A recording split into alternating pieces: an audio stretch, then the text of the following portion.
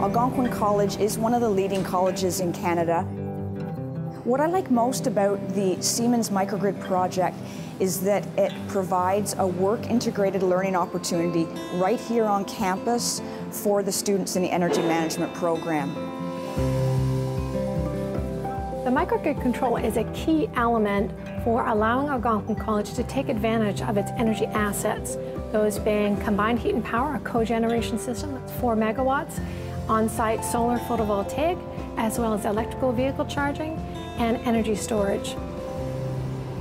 4 megawatt cogen or CHP combined heat and power solution is being implemented.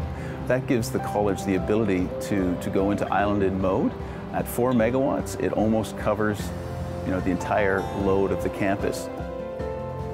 So the key criteria for moving forward with microgrid really came down to the financial optimization, the ability to determine what's more cost effective, to pull power from the grid at any moment in time or to use the cogen. And that's really what was used to justify the business case.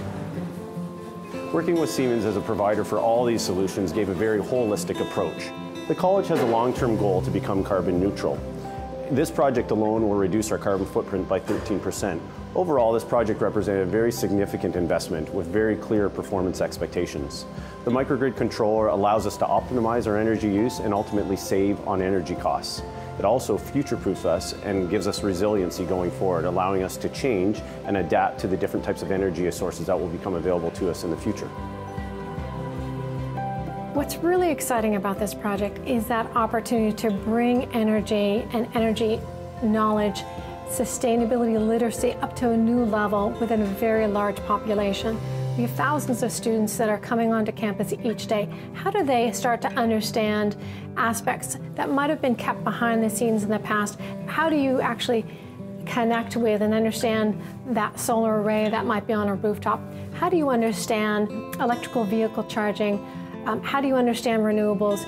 And how do you then make sense of those as you're making decisions going into the future?